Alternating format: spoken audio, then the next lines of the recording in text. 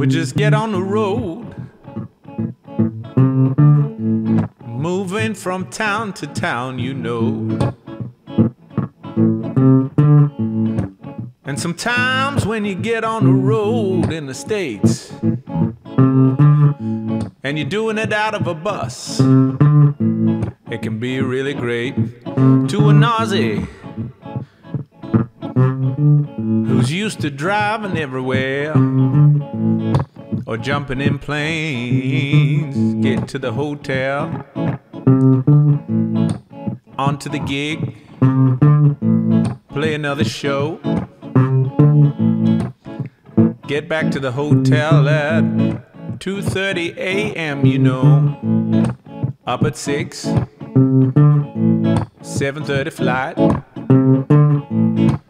Doing it all again and trying to make yourself feel alright. Maybe that's how I ended up drinking like a fish most of the time.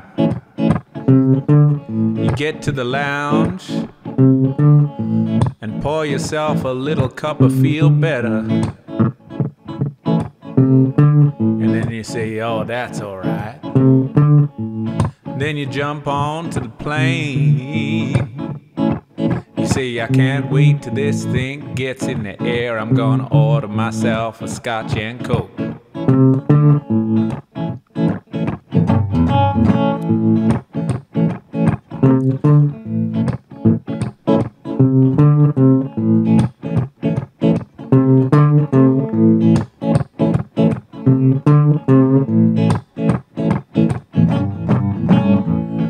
get onto the plane, you say double scotch and coke.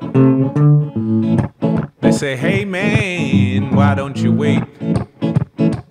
You say, I don't want to bother you, so just give me two scotches now.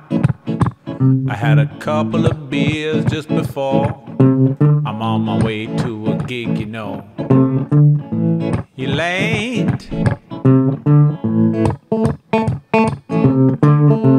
And when you land, you go into the Virgin Lounge and say, Hey, got off this flight. Go in, have yourself another free beer. Now, go get the hire car, get to the gig, have a couple of schooners at sound check. Now you're feeling real good.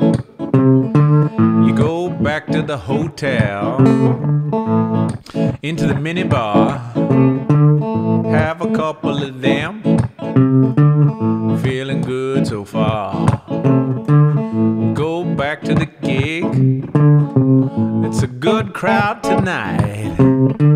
You know, I'm having a few drinks and I know I'm feeling alright. Six or seven beers, you get onto the stage. Yeah, three sheets to the wind a burning rage. You mix it up on the stage, having a real good time. Before you know it, the gig's finished, and you think, I hope that was alright. I know I played alright, but I was slurring in between the songs. Oh well, I'm gonna sell some CDs and see what's going on. Oh, let me get a few beers. Oh, let me get a few beers. A few beers.